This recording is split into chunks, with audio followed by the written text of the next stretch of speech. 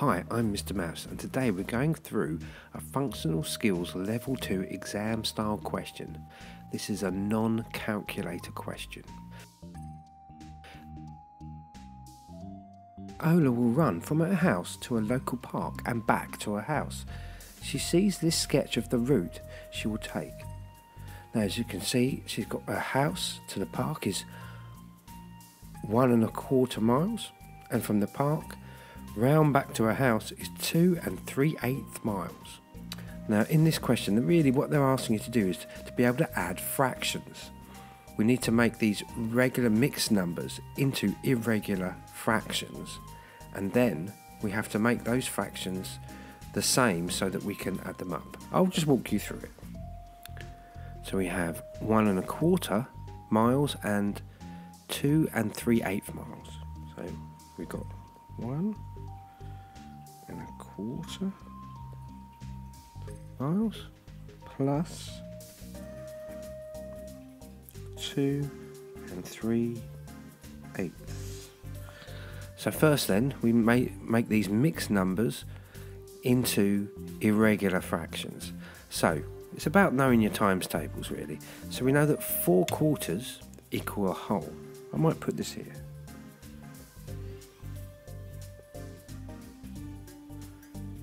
Equals 1. So we have 1 and 1 quarter. So we add 4 quarters to that 1 quarter and we're going to get 5 quarters. Now we know 8 eighths will equal 1. we've got two of those, so 2 times 8 is 16, plus the 3 eighths we've got there, so 16 plus those 3 is going to equal 19.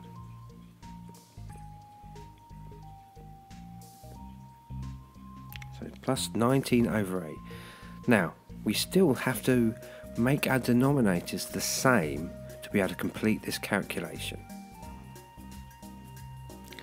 And the way we do this, we use multiplication.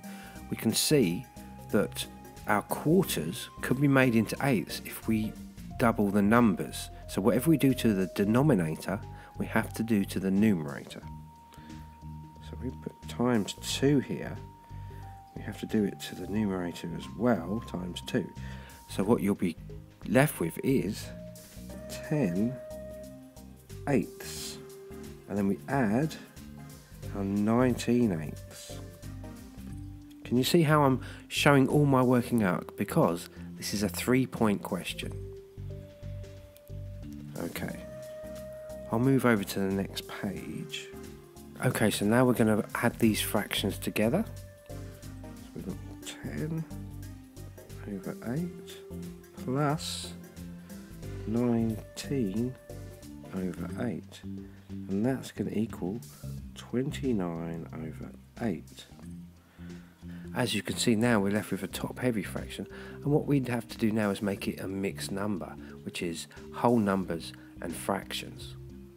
Now if we know our 8 times table we can work out how many whole numbers there are in 29. So 1 times 8 is 8, 2 times 8 is 16, 3 times 8 is 24 and 4 times 8 is 32. That's too much.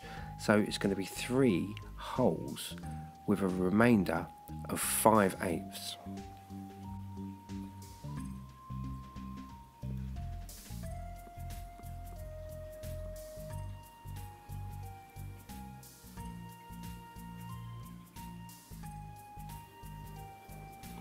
And as you can see, with all that calculations what we've done, we've secured our three points.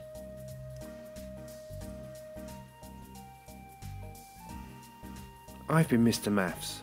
Please like and subscribe.